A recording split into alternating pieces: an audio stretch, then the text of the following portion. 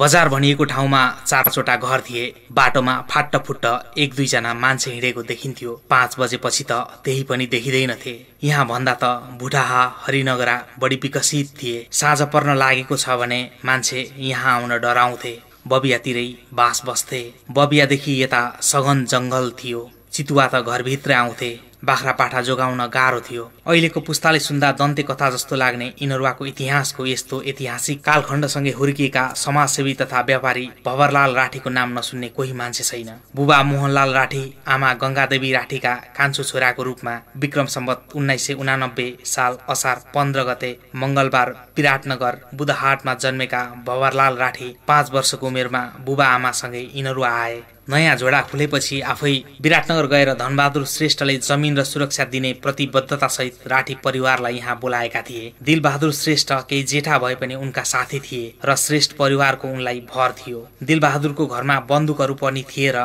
त्यसको बलमा उनीहरू डाकालाई तर्साउँथे। त्यो बेला इनरुवा बनाउन घाम पानी आँधी हुरी सुख दुःख केही नभनी दिन रात खटिने आठ दसजना मान्छे मध्येका एक हुन् बबरलाल राठी। यही उनको मुख्य परिचय हो।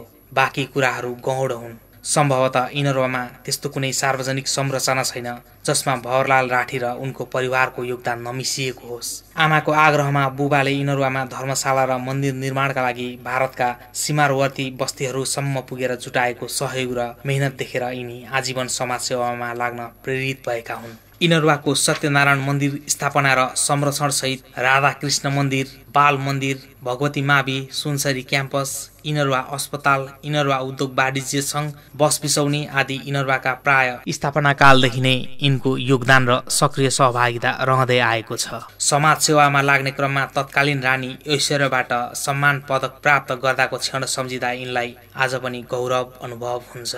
आफू इनरुवाको र इनरुवा आफ्नो भएको उल्लेख गर्दै भवरलाल भन्छन् मेरो ठाउँ मेरो आदर्श हो पहिचान हो मेरो सान हो आज म जे छु यिनीहरूले गर्दा नै भएको छु।